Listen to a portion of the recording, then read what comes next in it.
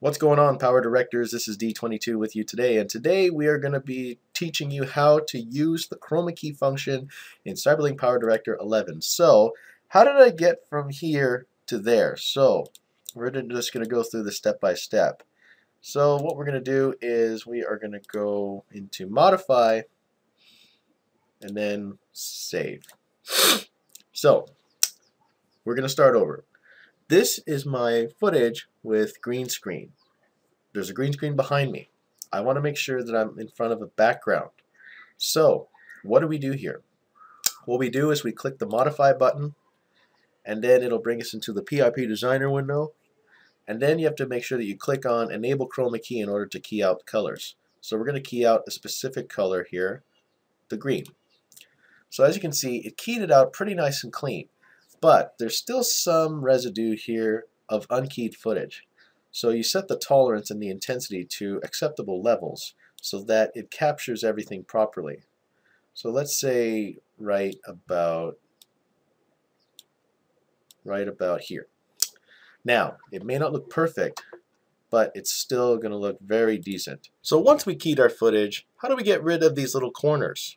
Not a problem. Just uncheck that. And then we can just put in a mask like this. We can resize the mask properly and apply it to our picture. So let's see what we got. Look, we masked out the corners. Isn't that awesome? So we don't have to do that cropping.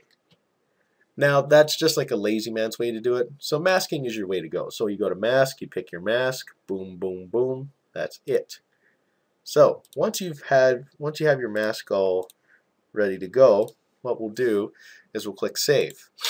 Be, make sure that you click Save so that your changes will automatically apply. So what you do now is we are going to go to our media room and then what we'll do or that's the magic movie wizard I just pressed the wizard button by accident so we're gonna apply a picture so we're gonna drag and drop the picture of the clouds to our second timeline. Now notice here it's covering our chroma keyed footage. So what we need to do is we need to move it up. So we need to move it to the timeline on the right and then we have to apply this down. They use a layering system here so it, you have to make sure that it gets layered right so that it automatically allows you to look like you're actually in front of the clouds.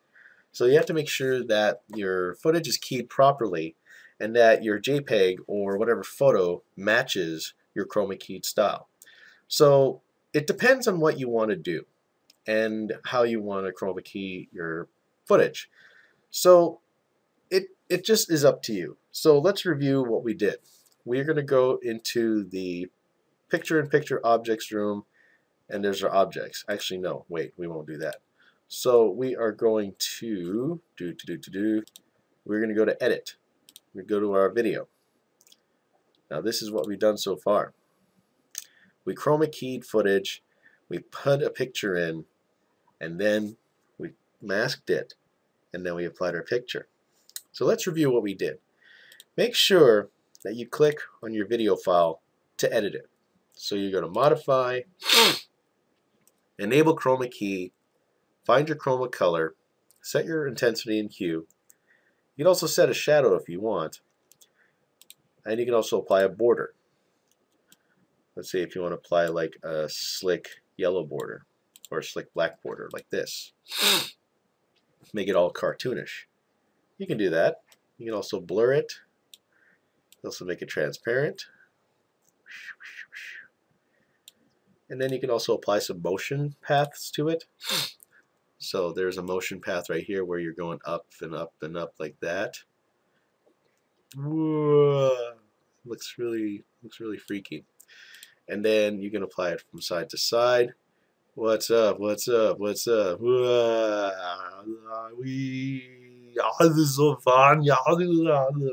Anyways, and you can just close it. You can press the X to undo all the motions. Look, and here's a swirl. I'm so dizzy. And like I said, you can press the X again to get rid of those motions. There's a few to choose from here. I didn't know there was a heart. Huh, okay. It's up to you. This is all your playground. And you can set the mask to however you want. And then once everything's done, you have something that looks really, really good. So you click Save, apply your changes, play back and see how it looks. Looks awesome. I'm in front of the sunset. And you render your footage and you're done. So that is it for now. Thank you so much for watching this video. I'll respond to you another time. Take care.